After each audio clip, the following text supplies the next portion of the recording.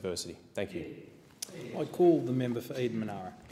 Thank you, Mr Deputy Speaker. Eden Monaro is determined to put the challenges of 2020 behind us.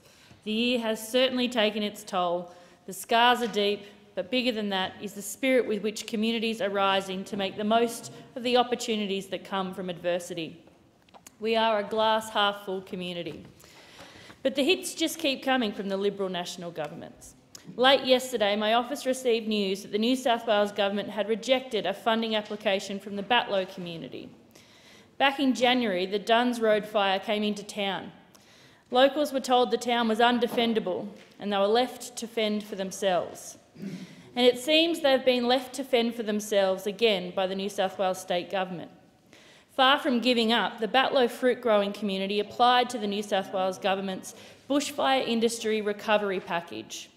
Investment earmarked to grow and develop the Batlow economy and community to light the spark on Batlow's renewal.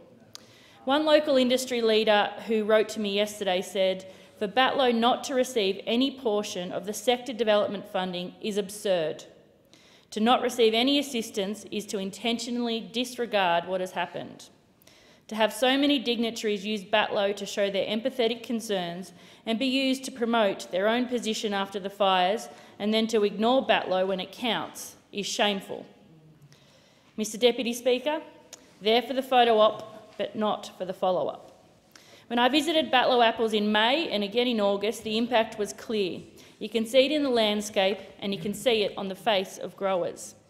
Batlow fruit growers lost around 30,000 trees, a 30 per cent hit to production, not to mention the netting, infrastructure and machinery that was also lost. As a Batlow local told me yesterday, to be left out completely when so many promises were made is another hefty kick to the economic well-being and future of Batlow.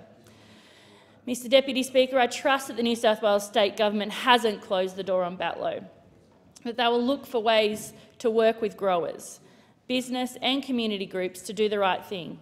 Indeed, I know from previous Batlow community forums that the community is coming together, from community groups to residents and farmers to local business. They're talking about their renewal and looking for opportunities and positive outcomes for their town, following on from this disaster. I will continue to work with the Batlow community to make sure they get their fair share. And as the community would say, do it for Batlow. I call the member